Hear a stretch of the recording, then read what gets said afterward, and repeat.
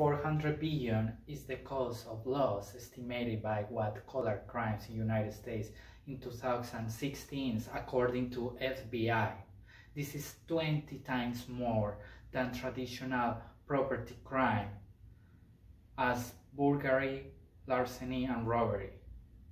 I learned with my research that people from high class commit a lot of harmful against society and they can get away from authorities. The root of the problem is impunity. Most of us are dealing with an unethical seller that the only one, only thing that they want is deceive to sell that happen in all level and direction of our society. Car insurance, loan mortgage, even in the supermarket with the fake uh, advertising like fake organic labels, the government funds. According to Connect to the Earth Charter, section number 4, Democracy, No Violence and Peace, chapter 13, strengthening democracy institution at all levels, letter E, eliminate corruption in public and private institutions. Today I'm going to increase your knowledge about these kind of crimes and we are going to try to find a sustainable solution. So we are now detectives and let's go to investigate our first case. According to New York Times, color, white collar crime is growing because Justice Department fails to prosecute executives. One of the biggest example Goldman Sachs CEO Lloyd Blankfein. He has never been he has never been prosecuted um, by cause the financial crisis in 2008. He's still the CEO of Goldman Sachs. Um, he he doesn't pay. He has never been incarceration, no fines against the person that caused a collapse in the worldwide economy and cost to United States more than 8 million employees. So, according to the Attorney General Eric Holder, told us some financial institutions had become so large that it makes it difficult for us to prosecute them. According to Washington Post, Trump goes easy on white-collar crimes and has given pardon to several criminals. We can see this graphic. This is are the prosecution over the last two years uh, against white-collar crimes.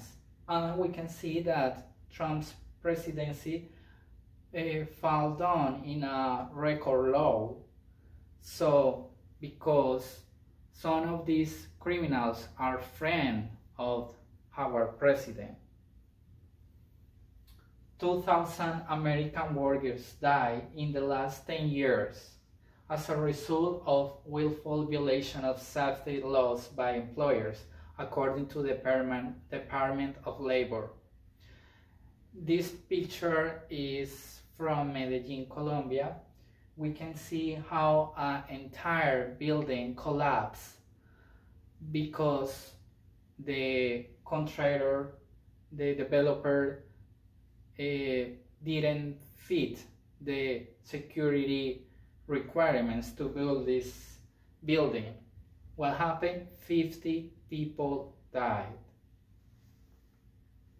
So our second clue lead, leads to the different types of white collar crime.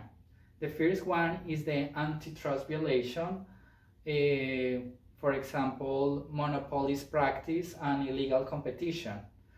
Uh, for instance, uh, the price fixing. Uh, for example, if the providers of public schools in United States fix the price of the meal that they provide to the schools, that's a monopolist practice and is illegal. The most common kind of white collar crimes is against us, the consumers. This, for example, this is uh, Bernie Madoff. He deceived many people and is known to run the biggest fraudulent scheme in the United States history. Another kind of consumer fraud is deceit in marketing. Bait and switch advertising, for example, you are looking for a car, you see an amazing car with a really low price and you go to the to the car dealer. When you arrive there, the dealer say, oh, I'm sorry that car was sold, but uh, we are going to offer this one that is so similar, only is $5,000 more its price. So it's a way to uh, deceive the cons cons consumers. Mislabel products and misleading advertising. For example, uh, say that some products have more vitamins that they really have, so, or uh, try to make the, the products uh, more attractive that they really add. For example, the fake organic labels real estate fraud, for example, when a, um, a real estate license or associate doesn't disclose don't disclose full information about the real situation condition of the real property. Repairs fraud. When the victims is charged with unnecessary repairs or charity and advocacy fraud, the victims think that they are contribute to a noble cause, cause, but the reality is that the thieves is gonna keep with all the money, the person that is getting the, the money. Another kind, for example, extortion. I learned that there is difference between extortion and blackmail. Extortion is an illegal demand by a public officer and blackmail is a legal demand by a non-public officer. Bribery is giving money or property to in order to change the mind or the judgment of a person in favor of the giver. Perjury is false testimony and embezzlement is more common than we think is when, uh, for example, uh, when a person as associate use the money of their customers for a different use that they are was in trust. And the final thing is that I'm, I'm really scared about this situation more in Latin America according to Transparency International half of the resource on economical supports for people during the coronavirus crisis is gonna be lost because of corruption. So now finally it's time to catch these perpetrators. So there are some sustainable solutions. Uh, they have three approach. Uh, the first one is focus on the punishment.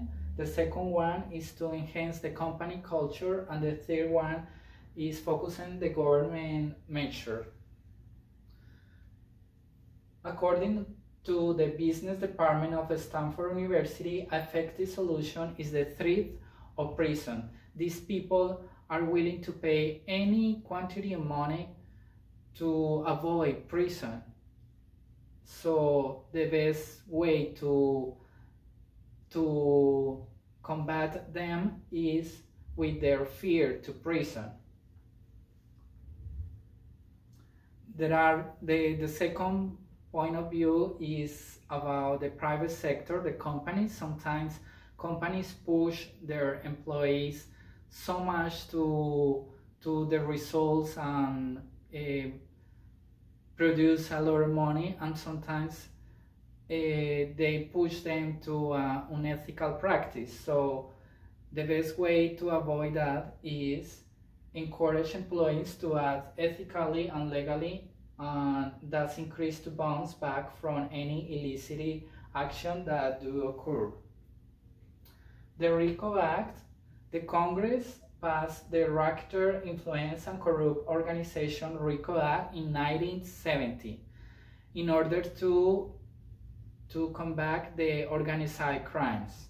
I learned that the broad language of the act has resulted in an increasing number of lawsuits against ordinary business person not associated with organized crime. Another government measure uh, the federal agencies such as FBI or Department of Justice to make effective the policy to identify and punish the white collar crimes and increase the prosecution of white collar crimes.